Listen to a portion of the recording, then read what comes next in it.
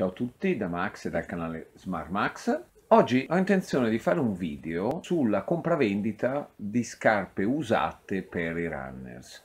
Mi è venuto in mente perché in questo momento sto lottando su eBay per un paio di scarpe dalla Germania, da running, scarpe costose, però usate.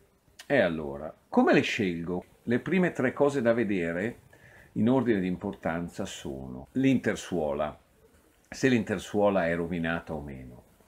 Due è la midsole, quella ammortizzazione che c'è tra la suola e la tomaia della scarpa. Se perfetta va bene, altrimenti se presenta delle piccole increspature sul bordo e si possono vedere, tipo delle pieghe che si hanno sulla pelle, no? potrebbe aver subito delle sollecitazioni anomale.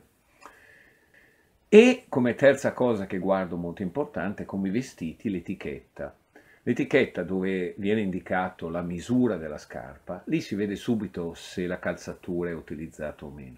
È ovvio che poi la cosa principale da vedere eh, in termini nominali è il chilometraggio e qui le differenze tra il modello e la tipologia di scarpa sono importanti. Perché?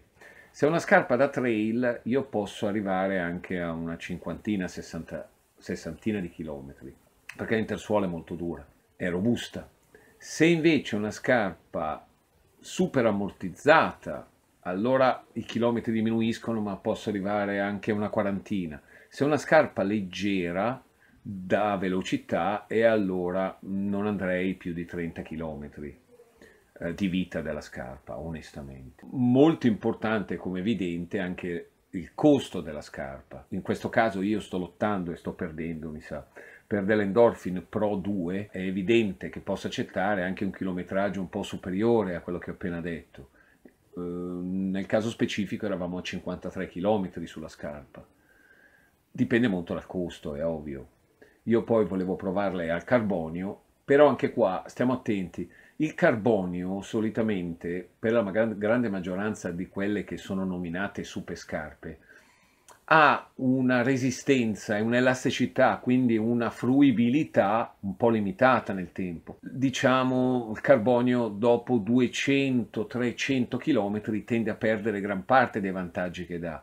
Però in quel caso si può sfruttare quella che si chiama la ciccia della scarpa. Solitamente queste scarpe hanno una grande ammortizzazione con la suola carbonio di mezzo che dà grande spinta.